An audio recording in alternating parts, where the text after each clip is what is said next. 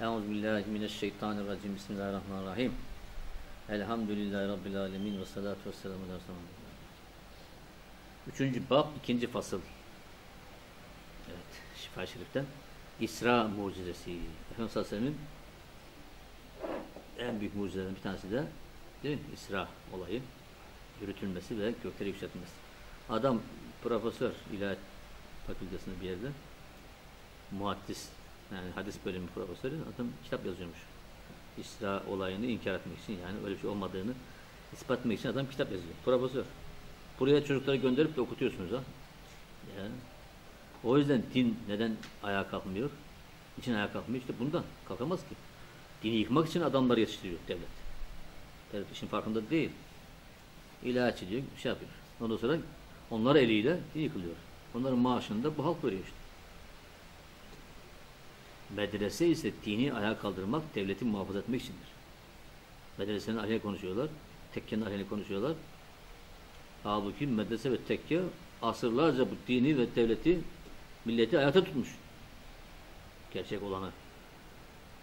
Ama ilahiyat fakültesi, o ilahiyatçıların çoğu nedir?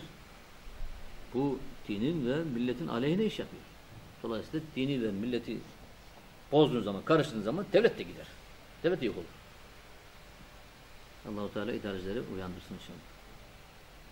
Peygamber Efendimiz sallallahu aleyhi ve sellem'in İsra gecesinin kerametlerinden olan münacatı yani yakarışı, Mevla Teala'yı görmesi, nebilere, peygamberlere imam olması, Sidretül Münteha'ya yükseltilmesi, Rabbisinin büyük ayetlerinden, gördüklerinden olan şeylerin ittiva ettiği bir takım faziletler hakkındadır bu bölüm. E, Nebi sallallahu aleyhi ve sellem özelliklerinden biri de İsra kıssasıdır. Yüce Kur'an'ın üzerine tembih ettiği ve sahih hadis-i şeriflerin açıkladığı yüksek derecelerden ihtiva ettiği şeyler de Efendimiz sallallahu aleyhi ve sellem'e ait özelliklerdendir. Allah-u Teala buyurdu. Geceleyin kendisine ayetlerimizden bir kısmını gösterelim diye Muhammed sallallahu aleyhi ve sellem kulunu Mescid-i Haram'dan çevresini mübarek kıldığımız Mescid-i Aksa'ya götüren Allah noksan sıfatlardan münezzehtir. O gerçekten iştendir, görendir. İsra bu Mekke'den Kudüs'e kadar bölüm ayetle sabit. Başka bir ayette battığı zaman Mevla buyurdu. Battığı zaman yıldıza emin olsun. Arkadaşınız Muhammed sallallahu sapmadı ve batıla inanmadı. O hevasına göre de konuşmaz. Bu Necim suresinde. O Kur'an vahyedilenden başkası değildir. Çünkü onu güçlü, kuvvetli olan Cebrail öğretti. Üstün kuvvetli melek doğruldu. O en yüksek ufuktaydı. Sonra Muhammed'e sallallahu yaklaştı. Yere doğru sarktı. O kadar ki iki yay arası kadar yakınlaştı. Hatta daha da yakın oldu. Bunun üzerine Allah'ın koluna vahyini bildirdi. Gözleriyle gördüğünü kalbi yalanlamadı. Onun gördükleri hakkında şimdi kendisiyle mücadele mi edeceksiniz? Yemin olsun ki önceden bir defa daha onu görmüştü. Siretül Mütehan'ın yanında. Senetül Meva da onun yanındadır. Sitreyi kaplayan kaplamıştı. Gözü kaymadı ne de haddi aşmadı. Yemin olsun o Rabbin en büyük ayetlerinden bir kısmını gördü. Necim suresi 1 ile 18. ayet. Müslüman arasında Nebi sallallahu aleyhi İsra olayının saatinde bir itilaf yoktur. Zira bu Kur'an'ın nasıl ile sabit. Kıssanın tafsir hakkında, acayipliklerin açıklamasında ve Nebi sallallahu aleyhi has olan bazı konular hakkında çok yermiş hadis-i vardır. Biz en mükemmelini sizlere takdim etmeyi uygun gördük. Bununla başka rivayetlerden ziyade olduğuna işaret ederek diğerlerine zikrine gerek kalmadığı açığa çıkmış olacak. Bize Kadı Şehit Ebu Ali ve Fakih Ebu Bahir, Kadı Ebu Abdullah Ettemimi geliyor bu rivayetle. En sonunda Enes bin Malik'ten şöyle rivayet edildi ki Efendimiz Aleyhisselam buyurdu. Bana Burak getirildi. Uzun ve beyaz bir hayvandı. Eşekten büyük, katırdan küçüktü. Gözünün ulaştığı, görebildiği yere kadar adımını atardı. Ona bindim ta ki Beyt-i Makdis'e, Kudüs'e kadar geldim. Nebilerin hayvanlarını bağladığı halkaya Burak'a bağladım. Sonra Mescid-i Aksa'ya girdim ve orada iki rekat namaz kıldım. Başka bir rivayette peygamberlere imam oldum. Sonra dışarı çıktım. Cebrail bana şarap ve süt dolu iki kap getirdi. Süt olanı seçtim. Cebrail dedi ki fıtratı, İslami kabiliyeti seçtim. Sonra beni semaya yükseltti. Cebrail kapının açılmasını talep etti. İçeriden denildi ki sen kimsin? Dedi ki Cebrail. Dedi ki beraberinde kim var? Dedi ki Muhammed sallallahu Ona Miraç için davet gönderildi mi? Cebrail evet gönderildi. Bizim için semanın kapısı açıldı. Bir de baktım ki Adem aleyhisselam orada. Merhaba diyerek beni karşıladı. Benim için hayra dua etti. Sonra beni ikinci semaya çıkarttı. Cebrail kapının açılmasını istedi. Denedi ki beraberinde kim var? Dedi Muhammed sallallahu aleyhi ve sellem denildi ki ona miras için davet gönderildi mi? Cebrail evet gönderildi. Bizim için semanın kapısı açıldı. Bir de baktım ki iki hala çocuğu yani Meryem oğlu İsa ve Zekeriya oğlu Yahya beni karşıladılar. Benim için hayırlı dua ettiler. Sonra beni üçüncü kat semaya çıkarttı. Evdeki gibisini yani meleklerin konuşmalarını zikretti. Bizim için kapı açıldı. Bir de baktım ki Yusuf aleyhisselam orada güzelliğin yarısı ona güzelliğin yarısı verilmişti. Beni karşıladı benim için hayırlı dua etti. Sonra beni dördüncü kat semaya çıkarttılar. Aynı şeyleri zikretti. Bir de baktım ki orada İdris aleyhisselam var. Beni karşıladı. Benim için hayırlı dua etti. Allahu Teala burada onu yüce bir mekana yükseltti. İdris aleyhisselam. Dördüncü kattaymış. Sonra beni beşinci kat semaya çıkarttı. Aynı şeyleri zikretti. Bir de baktım ki Harun aleyhisselam beni karşıladı. Benim için hayırlı dua etti. Sonra beni altıncı kat semaya çıkarttı. Aynı şeyleri orada bahsetti. Bir de baktım ki Musa aleyhisselam beni karşıladı. Benim için hayırlı dua etti. Sonra beni yedinci kat semaya çıkarttı. Aynı şeyi bahsetti orada. Bir de baktım ki İbrahim aleyhisselam sırtını Beyt-i Mamur'a yaslanmış haldeydi. Oraya her gün 70 bin melek giriyor, tavaf ediyor, bir daha geri gelmiyordu. Beyt-i Mamur Kabe'nin kökteki manevi şeyi, aslı. Sonra beni Sidre-i Münteha'ya götürdü. Bir de baktım ki yaprakları fil kulağı gibi büyükçe. Meyveleri de büyük testiler gibi, küp gibiydi. Dedi ki Allah'ın emrinden olan şey ilahi nur onu Sidre'ye kaplayınca hali değişiyordu, renkten renge giriyormuştu. Allah'ın malikundan hiçbir kimse onu vasfetmeye güç getiremez. allah Teala bana vahyettin vahetti. Her gün ve gecede 50 vakit namazı üzerime farz etti. Musa'nın yanına indim. Bana dedi ki Rabbin ümmetine neyi farz etti? Dedim ki 50 vakit namaz. Dedi ki Rabbine dön hafifletmesini iste. Zira ümmetin buna takat getiremezler. Muhakkak ben İsrailoğullarını imtihan edip denedim. dedi ki Efendimiz Rabbime döndüm ümmet dedim ki Ya Rabbi ümmetimden hafiflet. Benden beş vakti eksiltti. Musa'ya döndüm ve dedim ki benden beş vakti indirdim. Dedi ki muhakkak ümmetim buna takat getiremez. Rabbine dön hafifletmesini iste. Dedi ki Rabbimle Musa arasında gidip gelmeye devam ettim. Ta ki bana söylene, söylene şöyle diyene kadar. Ya Muhammed bunlar her gün ve gecede beş vakit namazdır. Her bir namaz için on derece vardır. İşte böylece eli namaz eder. Kim bir iyiliği yapmayı kasteder de onu yapmazsa onun için bir iyilik yazılır. Eğer yaparsa onun için en az on sevap yazılır. Kim bir kötülüğü kastederse de onu yapar, yapamazsa onun için bir şey yazılmaz. Eğer onu yaparsa onun için bir kötülük cezası yazılır.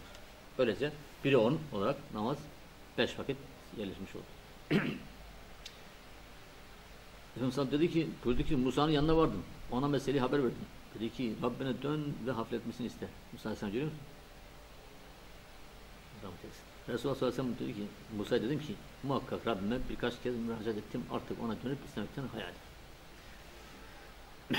Kadı Beyaz Hazretleri der ki Sabit radıyallahu bu hadisi Enes, Enes'ten güzel bir şekilde rivayet etti. Hiç kimse ondan daha doğru bir şekilde rivayet edemedi. Bu rivayet Sabit'in rivayetiymiş. Muhakkak başkaları Enes'te yaptıkları rivayeti çok karıştırdılar. Özellikle Şerif bin Ebi Nemir'in rivayeti çok karışıktı. Muhakkak hadis-i şerifin evvelinde Nebi sallallahu aleyhi ve sellem'in meleğin geldiğini ve karnını yardığını, kalbini zemzem yıkadığını zikrettik. Bu ise Nebi sallallahu aleyhi ve sellem'in çocuk olmuştu ve vahiy nübüvvet gelmeden evveldi yani. Muhakkak şerik rivayet ettiği hadiste bu durum göğsün yanması ona vahiy edilmeden evveldi demiş. İsra kıssasını zikretmişti. İsra'nın vahiyden sonra olduğunda itiraf yoktur. Muhakkak birçok alimler hmm, Miraç olayı hakkında şöyle demiştir. İsra ve Miraç olayı hicretten bir sene evvel vakı olmuştur. Veya daha evvel. Muhakkak sabit Enes'ten Hammad bin Seleme tarikiyle rivayetinde yine Cebrail'in Nebi sallallahu aleyhi süt annesinin yanında çocuklarla oynarken gelip kalbini yardığını zikrederek kıssayı insanların rivayetlerindeki gibi olmayıp İsra olayından ayrı olarak nakletmiştir. İki kıssayı da güzel, iki kıssayı da güzel nakletmiştir. O ayrı o ayrı. İsra Beyt-i Makdis'e kadar oradan Sidri Münteha'ya kadar bir tek kıssadır. Beyt-i Makdis'e ulaştığı sonra oradan semaya yükseldiğini söyleyerek tüm müşkilleri çözmüş ve başkalarının vehmettirdiği şeyleri gidermiştir. Demek ki İsra, Miraç ikisi beraber tek bir kıssa oluyor. Bak Yunus İbni Şihab'dan o da Enes'ten rivayette şöyle demiş. Ebu Zer naklederdi ki Nebi sallallahu şöyle buyurmuştur. Ben Mekke'deyken evimin, evimin tavanı, tavanı yarıldı. Cebrail indi ve göğsümü yardı. Sonra onu zemzem suyuyla yıkadı. Sonra altından bir tas getirdi ki içi hikmet ve imanla doluydu. Onu göğsüme boşalttı sonra kapattı. Sonra elimden tuttu ve beni semaya yükseltti. Böylece kısa devamında zikretti.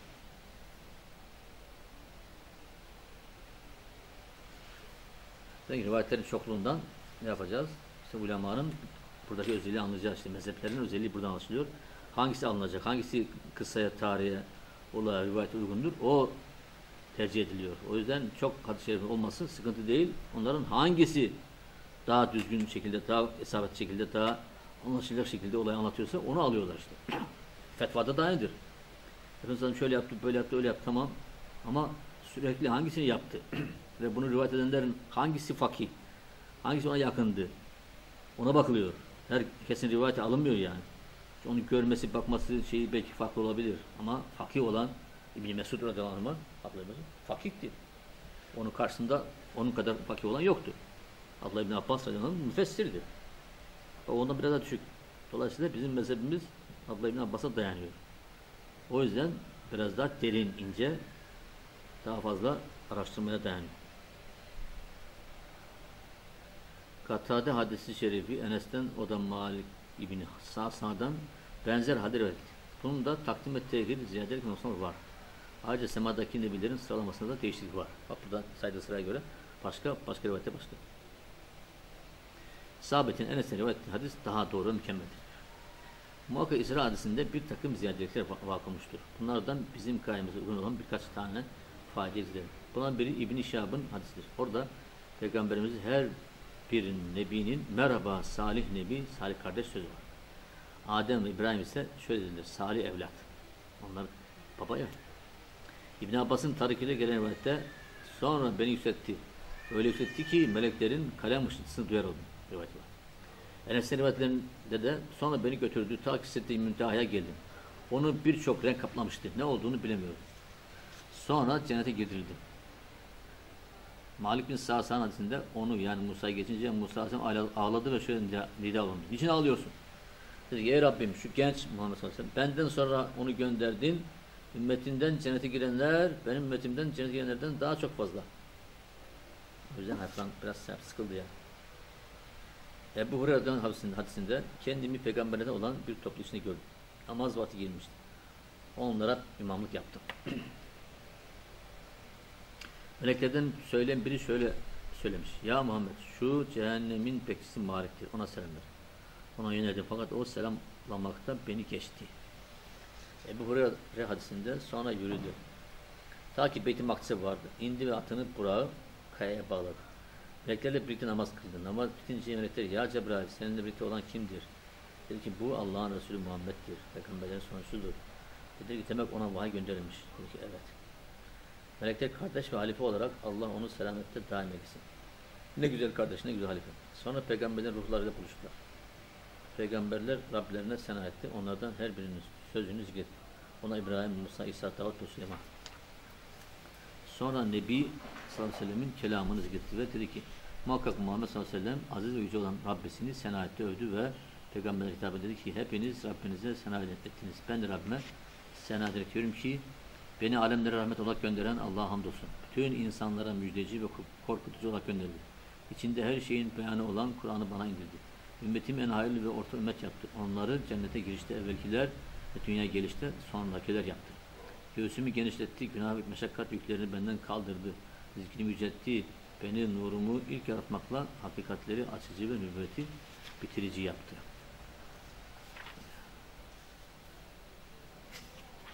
Ne kadar acayip güzellikler. Değil mi? İbrahim Aleyhisselam dedi ki işte bunlarla Muhammed sallallahu aleyhi ve sellem biz sizlere üstün olduk. Sonra dünya semasına yükseltildiğiniz gitti. Oradan diğer semaya yükseldi. İbn Mesud'un hadisinde ben Sidretül Münteha'ya ulaştırıldım. Orası altıncı semadadır. Yerden yükselen yükselen ameller, ruhlar, melekler tarafından orada alınır. Yukarısından gelen mukarreb melekler oraya iner. Oradan alınmasına izin verilen şeyi alırlar. Yukarı çıkarlar allah Teala buyurdu sidreyi kaplayan kapladı. Necm suresi 16. ayette. İbn Abbas der ki altından olan kelebekler kaplamış. Bak. Ebu Hureyre'nin Rebi bin en, en, ens üns yoluyla gelen rivayetinde bana denildi ki şu sidretül müntehadır. Ümmetinden senin sünnetin üzere daim olan herkes oraya gelir. Allah Allah. Mevla nasip etsin cümlemize. Sidretül müntehanın kökünden dört türlü nehir çıkar. Tadı ve rengi değişik, değişmeyen su nehri, tadı bozulmayan süt nehri, içenlere lezzet veren şarap nehri ve safi sürmüş bal nehri. Dört nehir cennetten geliyor. Müslümanların cennetteki nehirleri. Sidre Bineklinin gölgesinde 70 sene müddetince at koşturduğu fakat büyük, o kadar büyük olan bir ağaçtır. Yaprakları bütün halkı gölgelendirir. Onu ilahi azamet nur kaplar. Meleklerin nuru da kaplar, nur üzerine durur. Rabi der ki şu ayette bahsedilen husustur. Sitreyi kaplayan kapladı. Biz yaşa sitrete ma yaşa. Böylece kısa devam ediyor inşallah. Diğer bölümlerde sonra okuruz. Velhamdülillah Rabbil Alemin.